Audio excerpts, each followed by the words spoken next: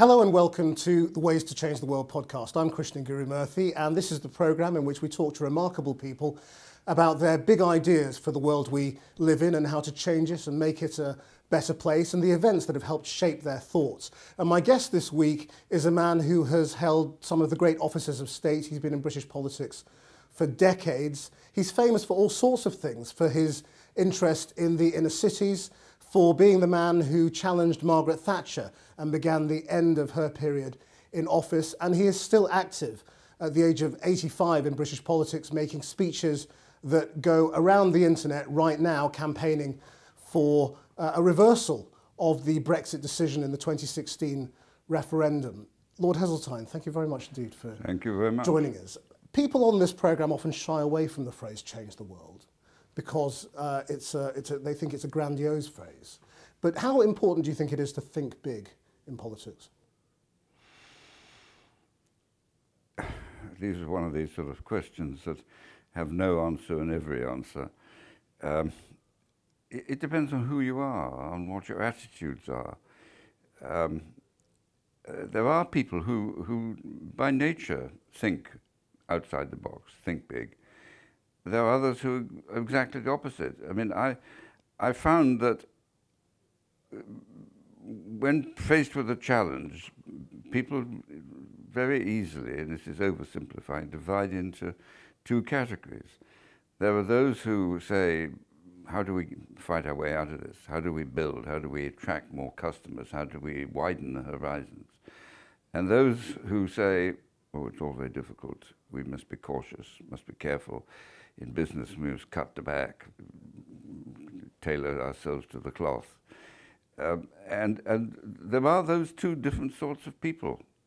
So it's no use saying to the instinctively cautious, think big, because that's not the way they approach things. Equally, it's quite difficult to say to those who take the big view, why don't you be more cautious? Did you always think big? Well, you know, that again, you're implying that somehow or other I'm bigger and better, and uh, but uh, I always, looking back over my life, have been on the side of those who looked to the expansionary opportunities. I mean, I, I started off in adult life as a businessman. Well, you know, entrepreneurs are prepared to take the leap, often into quite uncharted waters. Um, and in politics, I've always taken the view that I had views. That's why I was in politics. And, you, you know, you've got to take a bit of a chance if you want to influence people. It's no use just sitting there and hoping the tide will wash your ideas up the beach. You made a, a speech in the House of Lords very recently about Brexit, warning uh, of how future generations would view this decision and view the position of the Conservative Party. Um, do you feel this generation of politics is making a mess of things? Well, we are in a mess. I think it's very dangerous to sort of try and generalize to the whole generation of politics. Uh, there's some first-class people, wonderful people uh, in the political arena, in the House of Commons, on both sides. There always are good people, and there always will be, in my view. But we're in a mess. And I think I know why we're in a mess. It's because uh, the instinct of democracy is to look for change if there's a period of prolonged dissatisfaction. And there has been. Uh, it's all tied up with the collapse of 2008. You hear the same arguments on the both sides of the Atlantic. I mean, President Trump is a classic example. It's no accident Nigel Farage was campaigning for President Trump it was the same argument that, that, you know, I offer you a better future, I offer you a greater America, I offer you a more prosperous opportunity. You must, we must have change. You hear the same argument in France or Germany or Italy, um, because for a protracted period of time, since 2008, we've been cutting back we'd overspent. Everyone had overspent. The governments had overspent. The companies had overspent. Personal debt was too high and it, there was a price to pay. And people didn't like that. And so they were listening and looking for someone to articulate change. And if you can add the toxic arguments of immigration into the frustrations of economically frozen living standards, then you have a pot that uh, stirs effectively in appealing to votes. But it, it's also happened at the same time that a lot of these communities have, have felt alienated from power and from politicians who hold power. And so they have been ripe, if you like, I suppose, for, um, you know, for rallying around another cause. I think that uh, politicians can't escape public opinion, and that is more so today than ever. If you take one of the big manifestations of public opinion, and, and Brexit has dominated week after week, and you listen to the reaction, it's quite obvious that there is absolutely no agreement at all about the cause, about the, the, the risks, about the opportunities. Um, and the politicians, they know that. This is a deeply divided issue, a divisive issue. Nothing like it in my time. And um, so the House of Commons reflects that. It's not that somehow a breed So this was inescapable? It was, I think, inescapable. After the crash of 2008, there'd be a great period of uncertainty. What, what should we do now? Well, I haven't the slightest doubt what we should do now. First of all, face up to the causes, which is the collapse of uh, 2008, and uh, run our economies uh, on a more prudent basis, so you don't have another collapse. Secondly, we should uh, restore the conditions of growth, which we had just done. Britain had become the fastest growing economy in Europe. And that the way to do that is to give confidence to people who are going to invest and create the jobs. Overseas companies are going to come here. And the way to do that is to restore in full our membership of the European Union. The second issue is immigration, and immigration is the most difficult political issue. It has been throughout history. It's something people hesitate to talk about because before you know where you are, you're talking about racial differences and all of that. It's immensely difficult. But uh, the immigration issue from Europe was the second ingredient. Fear of jobs, foreigners taking our jobs, who are they, what are they allowed here for, they're living on the health service. You know all the arguments, and many a great deal worse than that. Those arguments have been here throughout history. There's nothing new in them. It's just they've got a new form. And um, the interesting thing in the European context is that now the overseas immigration from outside Europe is in a different league of scale to those coming from Europe. And that was the case whilst Theresa May was Home Secretary for all those years. Why did she do nothing about it if this was the burning issue? And the reason why I think she didn't do anything is because our social services depend upon the skills, not, not, not a lot of idle people living on the health service. It is the skills of the doctors and the nurses in the health service that have come from outside, many of them not from Europe, from uh, uh, other parts of the world, that actually make immigration a very important strength to our economy. And the government didn't want to be put in a position where it is obviously controlling these numbers, creating shortages here, lengthening the queues, um, in a way that would have happened if immigration had been controlled in the way they wanted it to be. So, what is the answer to tackling the immigration issue? Well, I mean, I, do you pander to it and say, no, well, we, no, we no, must control no, it? No, well, you, you have to control it. The fact of the matter is, immigration is not just an issue of today, it is here for as far ahead as we can see, for many reasons. Everywhere in the world, the least privileged and there are billions of them living in conditions we just wouldn't recognize, look to see the conditions in which we live. And they're going to come here. And it won't be the idlers and the shirkers that come. It will be the more energetic, more ambitious, who want something for themselves and their families. They will come. And we will have to control that because there is no way we can absorb the huge numbers that uh, would like to be here. And so, do you think that means that freedom of movement has to stop within the European Union? I think that I, I think that out of this controversy about Brexit, there is a way in which we could go to the Europeans. David Cameron tried, but the mood in Europe has changed since then. and say, look, we recognize that immigration can only happen at a measured pace. And so there were three things that we as Brits would say as we continue our membership of the European Union. First of all, there needs to be a wall, a common wall, around the European Union, and we will use our full endeavours to help you police it. Full stop.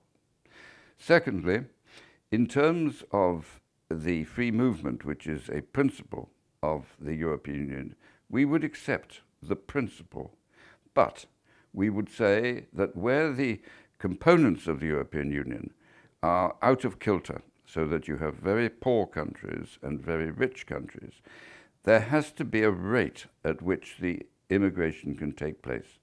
In other words, a cap in any one year on the numbers that could move under the free movement procedure. It would not be a cap singling out French or German or Dutch or um, any other Romanian uh, national group. It would simply a cap on the number of European citizens that could move to any one of the more prosperous economies. And the third policy is that we should look at our aid programs, the European aid programs, which is huge, and we should mold them into a Marshall Plan where we say to the countries from which the immigrants are coming, we will help you rebuild or build anew your economies so that you can keep more of your younger and more talented people there. To stop the pressure. To stop the pressure. I mean, what makes you think Europe would accept that? Because in this Brexit debate, lots of people have said, well, this is what we should say to Europe. Um, and it's been, you know, people call it cakeism or fantasy politics or unicorns. I mean, what makes you think our European partners would accept your idea?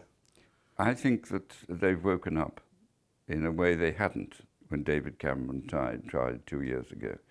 The problems, you see it everywhere. You see the growth of Le Pen, you see the AfD, you see the problems in Italy, uh, you see the Dutch, you see the Hungarians and the Poles. You see these problems now are mainstream in Europe in a way they were not when David Cameron first tried.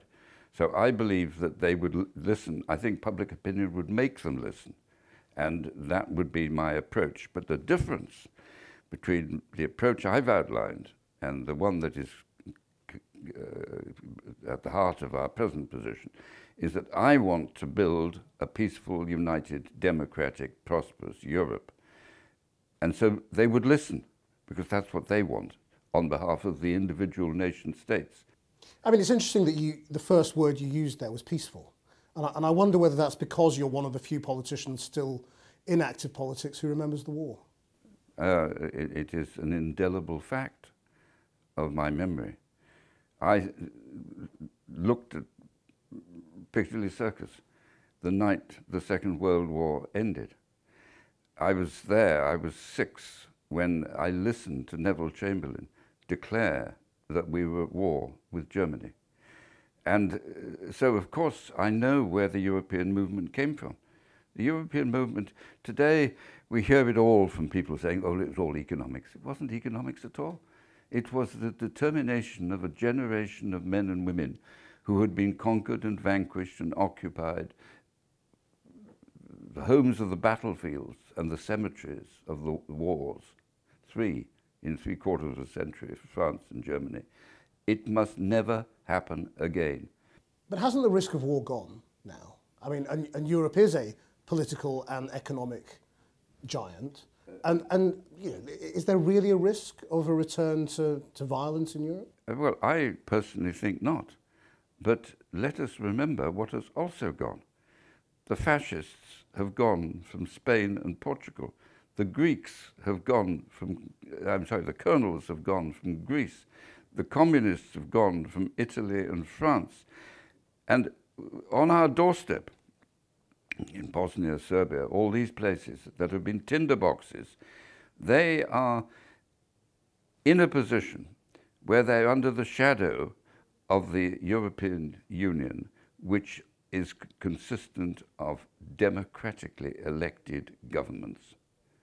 Do, do you, I mean, do you remember the point at which you in politics became a believer in the European project. Yes, when I was at Oxford. And uh, of course, I was in my late teens. But Winston Churchill was making speeches about a kind of United States of Europe. The European movement was growing. Lead us, they said. And we didn't and wouldn't. But there was a chilling interview on the BBC by Rab Butler, one of the architects of the recovery of the post war period. It wasn't on, you see. It wasn't on. We were quite wrong, of course, but it wasn't on. You mentioned remembering the outbreak of war. How much of the, the bombing do you remember? Because you, you came from Wales, and I mean, presumably you, you remember what happened there. Uh, my mother and sister and I followed my father around uh, from the various military posts he went during the war. So I wasn't there all the time in Swansea, but there I was there enough for some of the worst uh, um, uh, air raids. And I remember it, it's funny what you remember as a child. The bombers came every night at nine o'clock. Every night. And we had a shelter in the basement. And our little Scotty dog, he knew they were coming because he was always there at nine o'clock, waiting for us to open the door to go down into the shelter. And I can remember standing in the garden of One Uplands Crescent, Swansea, with my grandfather, watching the searchlights and the shape of the balloon, barrage balloons. So yes, I do remember it all. What kind of childhood was it? Was it was it a, a privileged childhood or? It was a middle class, uh, not hugely uh, privileged, but compared with the conditions of uh, the unemployed in the working class valleys, very privileged. Did that shape your own relationship with people who were less fortunate? Where did that come from? I, I think I think it has.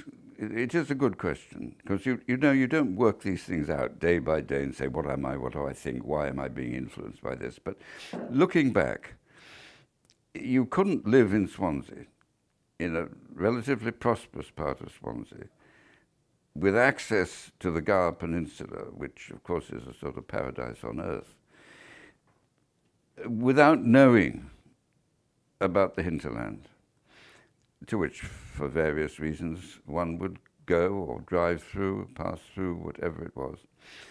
And, and particularly, I remember in the um, 1950s, my father died when I was young, driving back and forth down the heads of the Valley Road, and you couldn't, you couldn't escape the scars of the Industrial Revolution. I remember another what incident so small, but nevertheless the impact in, on me that um, I was at, at a well-known leading public school, and I had wandered from the campus into a fairly poor part of Shrewsbury.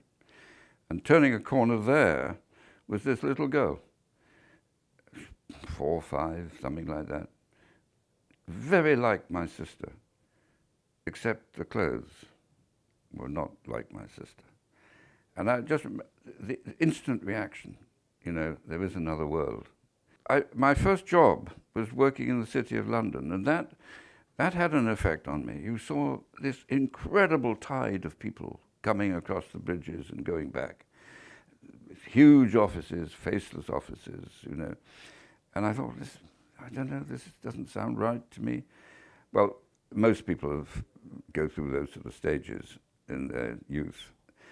Uh, but I very rapidly came to see that enlightened capitalism was the generator of wealth, and wealth is the essential tool of uh, building out from poverty.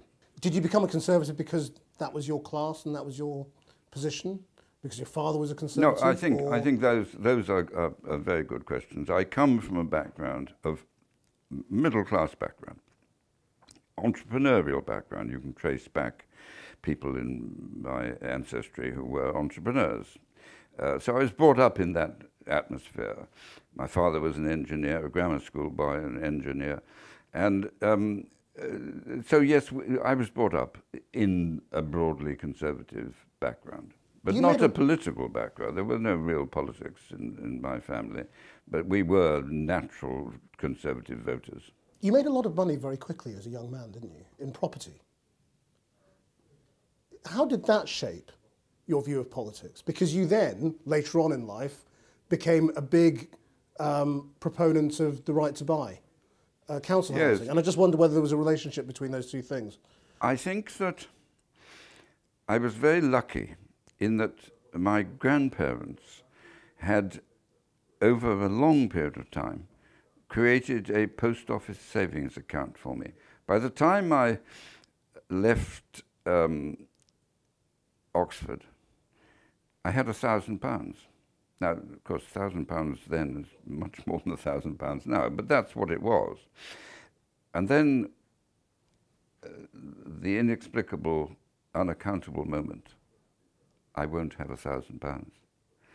So I found another friend who got a thousand pounds, and we bought a boarding house which had 11 rooms. We occupied two and sublet the other nine. And we sold the boarding house a year later for double what we paid for it, and we bought a small hotel. And so that's how I got into, in quotes, the property business. um, but I'd always, perhaps inherited, it's difficult to know, but I'd always had a, a feeling that I'd like to be financially independent, which was to be transformational in my life because uh, it was the fact that I was independent of anyone else's ability to influence my income that enabled, that gave me freedom. I, nobody could frighten me or threaten me or whatever it was. I had the resources to stand on my own feet.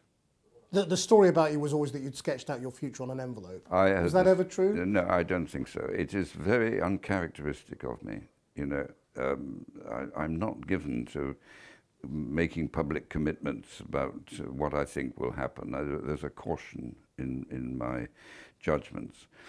Uh, I know exactly where it came from. It came from a friend of mine who was a brilliant journalist, but he couldn't resist a laugh. And you, I you said millionaire by 25, cabinet by 35. There's, there's, I, I, just, I just don't believe it ever happened.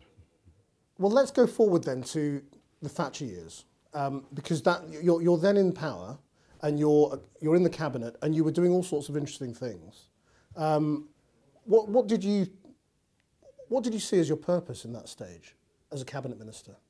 Um, who, who was very involved in the cities and uh, was responding to rioting in Liverpool in quite a, a different way to, to one you'd expect a Conservative cabinet minister to react.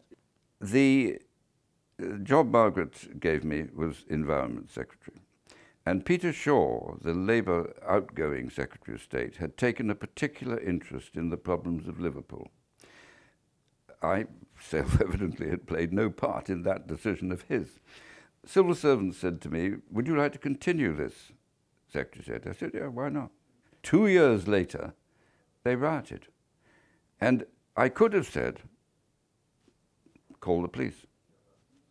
Yobs on the streets. But I felt a personal responsibility. This was a city I had personally associated myself with, done, I thought, a lot to help. Do, do you think that much has changed? Yeah, yes. It's unrecognizable. Now, if you say to me, to this generation, 30 years or whatever it is on, has it changed? I'll say, no, no, it's the same problem. They have no idea what it was like in 1981 when I was coping with this. I mean, everybody asked about their present situation defines it today there is very little collective memory of what it was like 20, 30, 40, 50 years ago. We are incomparably a more prosperous society today than we were then. Poverty today is a different sort of poverty to what it was in the 1920s or 1930s. Um, but politicians have to live with the real world, with today's world. So it's no use sort of saying you're better off than you were, or you're better off than your family, or your parents were. Cut any ice. And were you trying to change the world at that stage? Did you, were you thinking in a very ambitious way? Well, no, I, I wasn't trying to change the world. I was trying to change Liverpool. And, uh, but of course, it is absolutely true that the lessons of Liverpool dramatically influenced my way in which I think the country should be governed. Uh, so uh, this was a formative part of my life, and I realized the incredibly debilitating effect that the centralism of power in Whitehall has had on our society. London is very important. It is the golden goose. Nothing must be done to prejudice it. But the rest of our cities, the cities that built the most incredible centre of power the world has ever seen, the British Empire, they have been neutered by the power of Whitehall. Even members of Parliament representing local constituencies, before you know where you are, they're in the House of Commons and their career ladder is up the ministerial ladder. And that focuses their attention on their functional responsibility transport, housing, health, whatever it is, and it removes them from thinking about the greater interest of Manchester, Liverpool, Leeds, all that.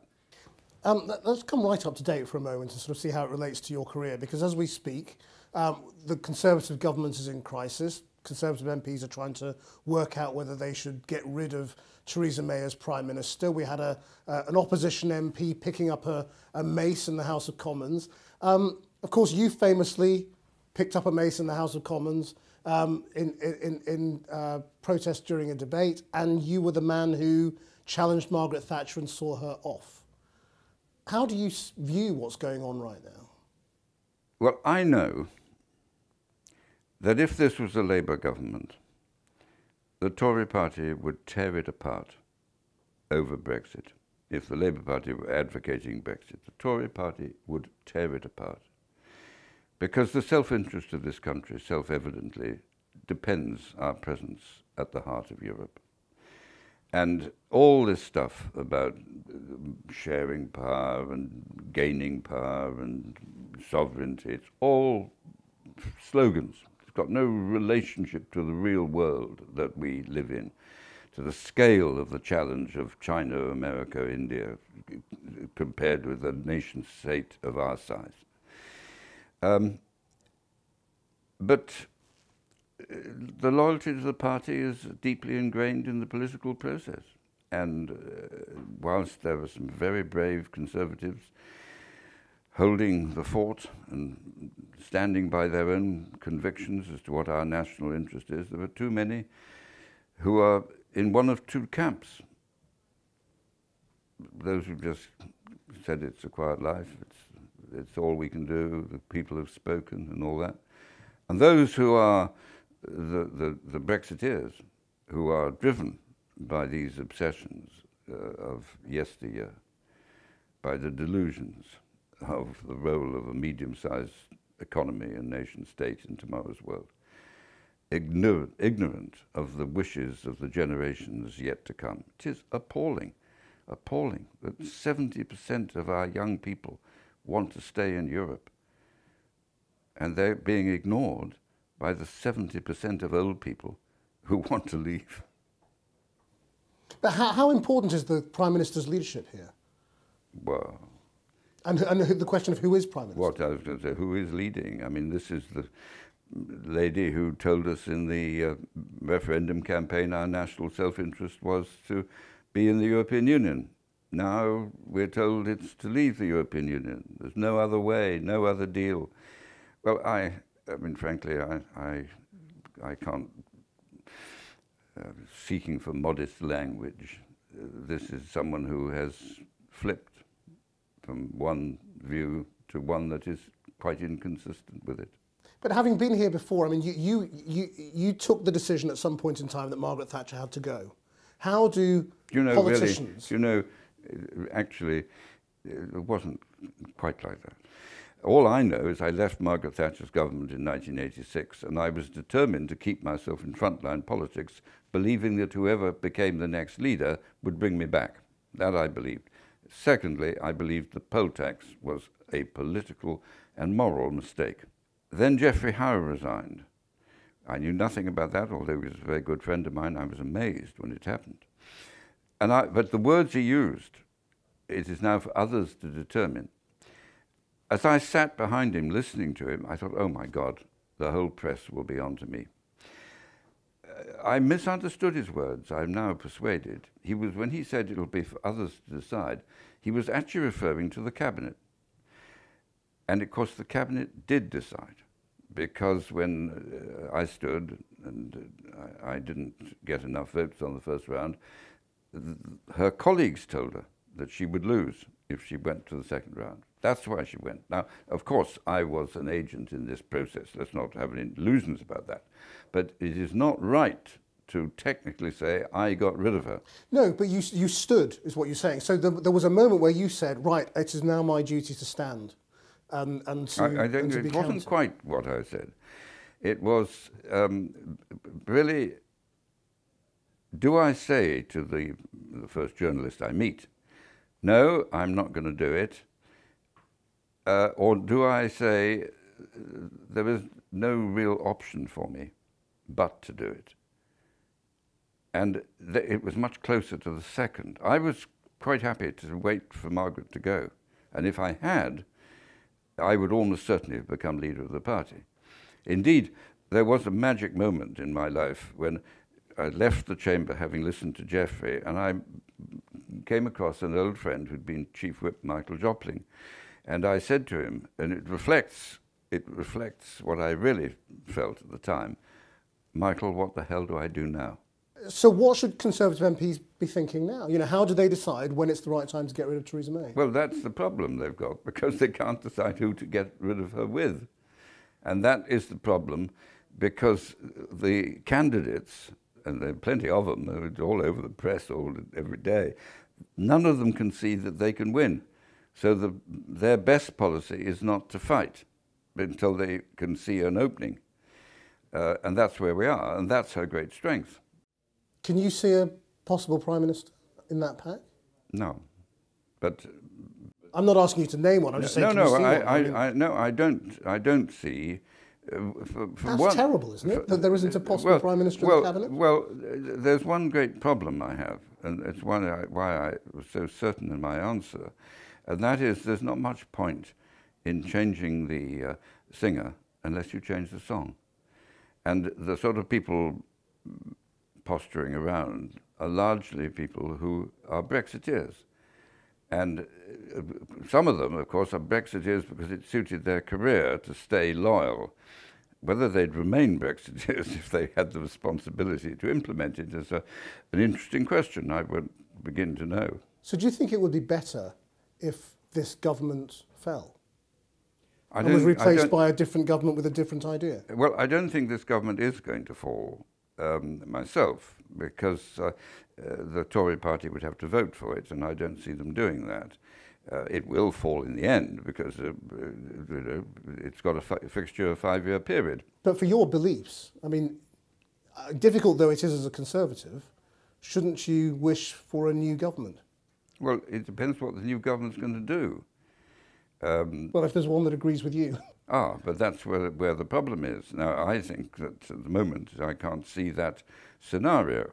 Um, the only way I can see that, that happening is with another referendum, which of course is what I believe should happen. But that is more likely today to come from a splintering of party loyalties within the House of Commons than from an adherence to party loyalties.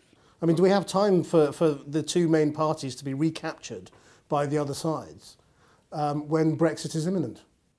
I think the great danger for the Conservative Party is that they will struggle on, unable to go for an early general election, which they wouldn't think they could win, and then be blamed for the Brexit and the consequences, and then forced into opposition. That is the danger, that the Conservatives will be blamed for Brexit.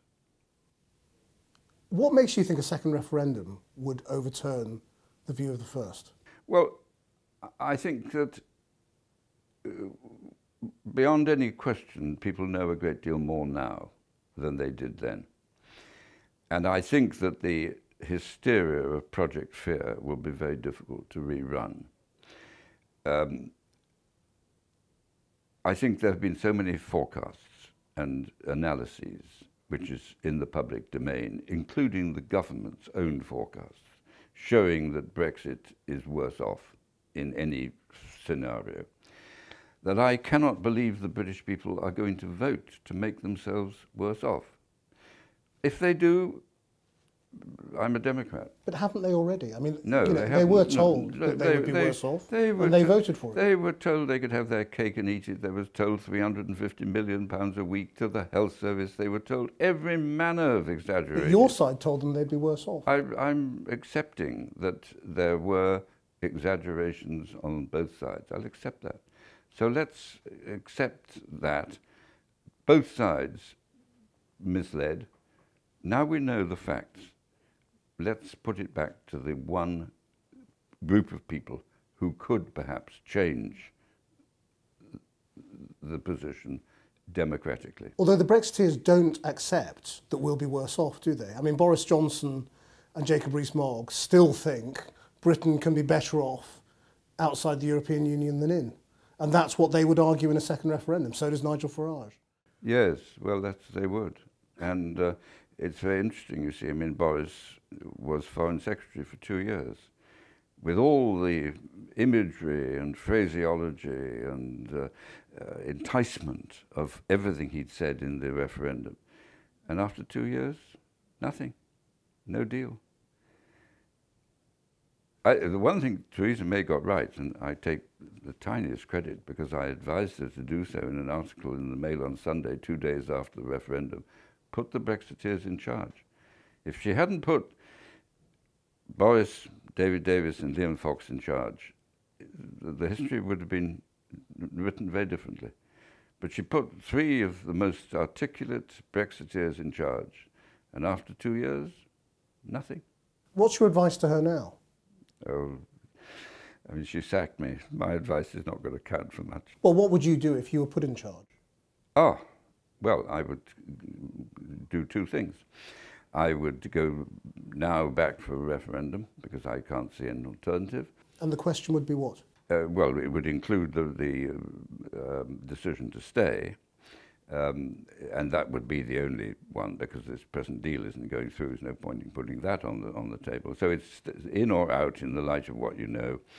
Uh, and I would then make speech in setting out my views, which would be that this will restore Britain's um, economic fortunes, and I have a plan to deal with immigration. That's what I would do. And uh, I would put that to the Commons, and if I lost, I'd, I'd let someone else have a go. The other side will say you're telling people they didn't know what they were voting for, they were stupid, they were too stupid to understand. That's, that's the current riposte to any question of a second referendum. What's your answer to that? I've never said they were too stupid. Um, uh, they didn't know what they were voting for. That how could they? How can they? How at this day, as we haven't got an effective government or an, accept, an acceptable policy, how can anyone know what they're voting for? Today, two years later, and there were, and we've discussed, there were the deceptions. Let's, let's not issue it. Let's say they were on both sides. We're now in a situation where a significant more information is available. But it's perfectly true, it's perfectly true to say that the whole of the internal relationships is yet to be negotiated. And each of those is going to be a direct affront to British national self-interest, and we're going to lose a lot of those. So, in a sense, there's a deception about even the plan that Mrs. May is putting forward, that it's full of phrases and not evidence. But it's better than where we were two years ago. And just finally, if this goes ahead, what will you feel? Sad that my generation betrayed the young generation. Sad that we denied Britain's historic role at the centre of Europe. Sad that we stood down from our position as one of the leading countries of our sort in the world. We gave up power. I can't understand that. Lord Heseltine, thank you very much indeed.